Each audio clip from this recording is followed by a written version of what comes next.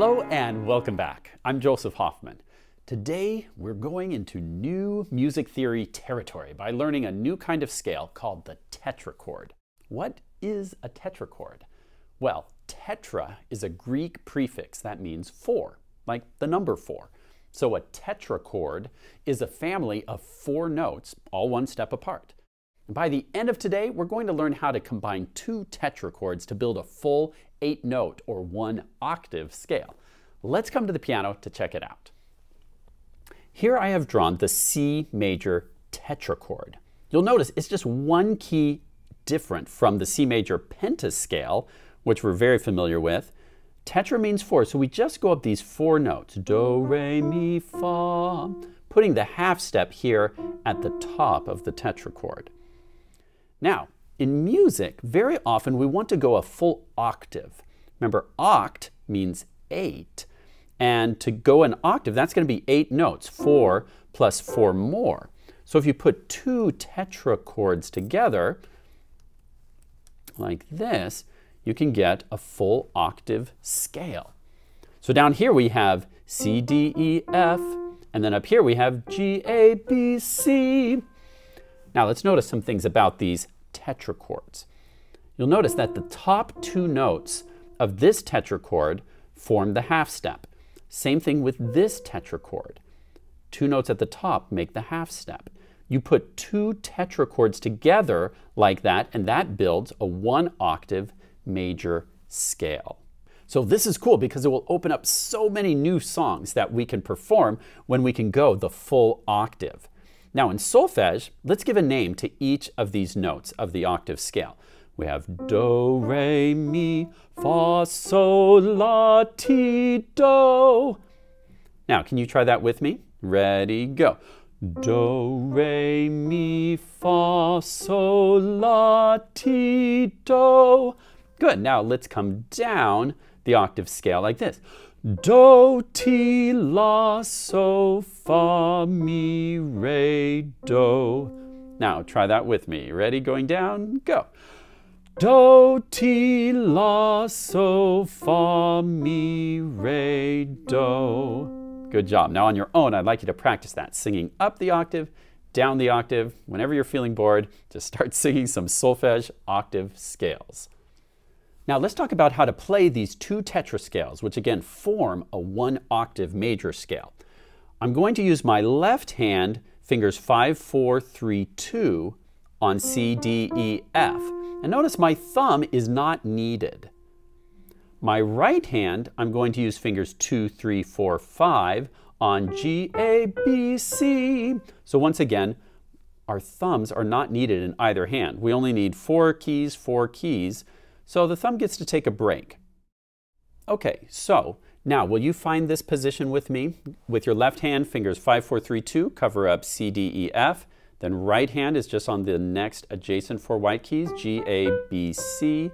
And it's going to go like this. Do, re, mi, fa, sol, la, ti, do. Can you play that with me? And let's sing the solfege. Ready, go. Do, re, mi, fa, sol, la, ti, do. Now let's come down. Ready, go. Do, ti, la, so, fa, mi, re, do. Nice job. This time let's sing the letter names. Ready, go. C, D, E, F, G, A, B, C. Now coming down. C, B, A, G, F, E, D, C. Now, if you didn't quite get that, feel free to press pause and try that a couple more times on your own. Otherwise, let's keep going.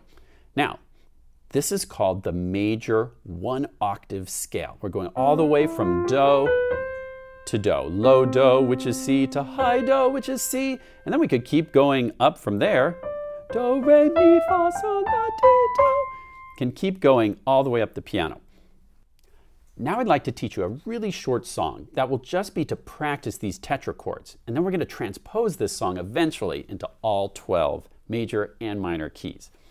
The song goes like this. It's called Follow Me. Follow, follow, follow, follow me. Let's make a line for That's the whole song. Really short. Like I said, it's just to practice these tetra chords. Now, let me show you how to play it. The song goes Do, Re, Mi, Fa, So, So, Do, Ti, La, So, Fa, Fa, Fa, Mi, Mi, Re, Re, Do. Or with lyrics, Follow, follow, follow, follow me. Let's make a line for all to see. Now you might be asking, where's the sheet music, Mr. Hoffman? Well, this song I want you to learn by ear. It's important to be able to learn songs both by reading from a score, from the sheet music, or by just figuring it out by hearing it and imitating it. Now, if you'd like, using the materials you can get from our website, you can get a blank staff that you can notate it yourself, which I challenge you to do. So you write down the notes for yourself. So let's try to play Follow Me. Can you cover up these two tetrachords with the right and left hand? I will sing a pattern and you try and play it back. So we're going to have Do, Re, Mi, Fa, So, So. Now you try. Good, and you'll notice before we would have played that like this, but now when we get to So, we're going to shift over to the other hand. So you only have four notes per tetrachord. Do, Re, Mi, Fa, So, So. Try that one more time. Good. Then we skip all the way up to the high Do and then step down.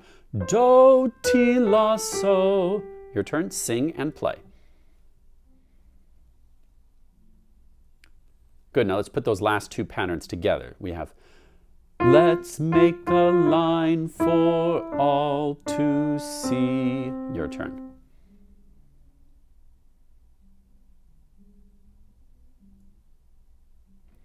Good, now, putting all of that together, we have do, re, mi, fa, so, so, do, ti, la, so. Fa, fa, fa, mi, mi, re, re, do. Try it with me. Ready, go. Do, re, mi, fa, so, so, do, ti, la, so. Fa, fa, fa, mi, mi, re, re, do. If it wasn't perfect, don't worry. Let's try it one more time. This time with the lyrics. Follow, follow, follow, follow me. Let's make a line for all to see. Ready, go. Follow, follow, follow, follow me. Let's make a line for all to see. Nice job. Now, why don't you press pause? Try that two times on your own. Once singing the lyrics, once singing the solfege, and for bonus, maybe one more extra time singing the letter names. And then press play when you're ready to go on.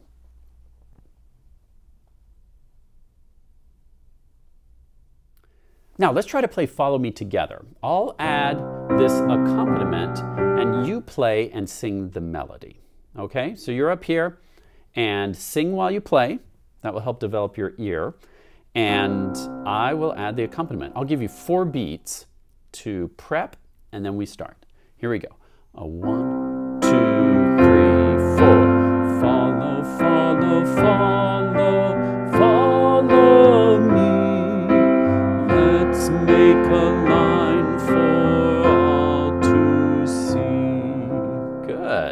One more time. This time sing the solfege. A one, two, three, four. Do, re, mi, fa, so, so, do, ti, la, so. Fa, fa, fa, mi, mi, re, re, do. Nice job. Now that you know how to play the C major one octave scale using two tetrachords, let's see how we can transpose this.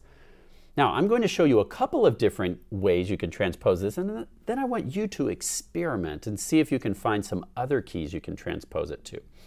For starters, let's try the D major scale. Now, before we do that, let's just remind ourselves really quickly, the last two notes of each tetrachord are where the half steps belong. That's really important to remember. It's between the third and fourth note and the seventh and eighth note of your scale. Mi and Fa and Ti and Do. Now, let's move this up to D. So now D is Do. We just transposed, and let's see if we need any black keys to keep the half step in the correct place. We have Do, Re. Now, are Mi and Fa a half step apart like this? Mm, nope, they are not. Instead, it looks like we've got a half step here. So we're going to have to take this note and move it up a half step. And now you'll see that we have the half step correctly placed. Now, sometimes a student may say, well, I could move this note down a half step and make this a G flat, and now we've got the half step. Well, that's true that this is a half step now, but you also have a half step here. And in a major tetrachord, you can only have one half step, not two. So the right way to solve this would be to move this one up a half step, and that puts everyone the right distance apart. Now let's see if you can figure out these four notes. What do I need to do to make the half step in the right place? Can you point to the note I need to change? If you're pointing here, you're correct. I need to make this one a sharp as well. This C becomes a C sharp, just like this F became F sharp. Now I have a half step between Ti and Do and between Mi and Fa, and this should sound like a D major scale. Let's try it. So with your left hand, cover up D, E, F sharp, G, and then instead of putting your thumb there like it's a D major pentascale, since we're just doing a tetrachord, we stop there, then the right hand takes over at A with finger two, and then we have to remember this C sharp. So this is your one octave scale using two tetrachords. Let's try to sing the solfege. Ready? Do, re, mi, fa, sol, la, ti, do. Then coming down, do, ti, la, sol, fa, mi, re, do. We just transposed the one octave major scale to D major. Okay, let's see what would happen if we tried to transpose the major scale to F. Okay, so I've got my two tetrachords, but we've got to check and see if the half steps are in the right place. If it's not a half step, it's going to be a whole step. And you'll recall that a whole step is the distance of two half steps. Or another way to think about that is that there is one key in between white or black. So here's a whole step, no problem because we've got a black key in between. Another whole step, oh, and another whole step. That's not correct. Can you tell me how we would fix this? Some of you might be thinking, move this key up a half step. But that would not be correct. And here's why.